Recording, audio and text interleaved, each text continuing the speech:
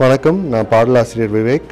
News J தொலைக்காட்சி முதல் ஆண்டு நிறைவு பெற்று இரண்டாம் ஆண்டில் அடியெடுத்து வைக்கிறாங்க. அவங்களுக்கு என்னோட மனமார்ந்த வாழ்த்துக்கள். இது போன்ற முக்கிய வீடியோக்களை உடனுக்குடன் தெரிந்து கொள்ள நியூஸ் ஜே யூடியூப் சேனலை சப்ஸ்கிரைப் செய்யுங்கள்.